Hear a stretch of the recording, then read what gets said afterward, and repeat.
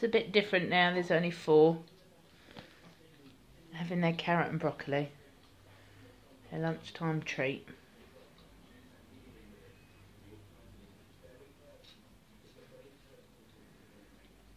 Bertie, uh, who's there, he's going this afternoon, this evening.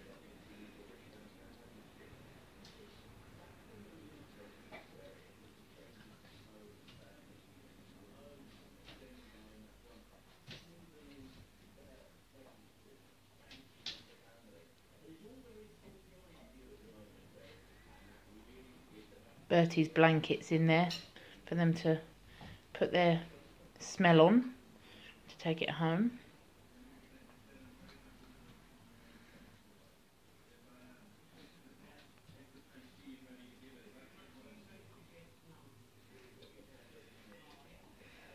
When people are coming to collect, I'm keeping Bina out the way a little bit. She's um, she came in this morning, almost looked around, did a head count, so she knows they're disappearing, but she seems okay. We're hoping to get a chance to take her for a nice long run tomorrow afternoon while I'm going to take her out while my husband takes the pen down. Puts things back to normal so she's not um she's not too stressed about it.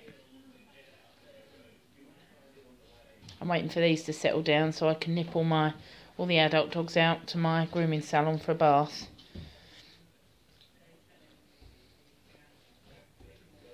You got carrots stuck on you, Bertie. That's not Bertie. That's Marley. No, that's Bertie. There's Marley. Marley!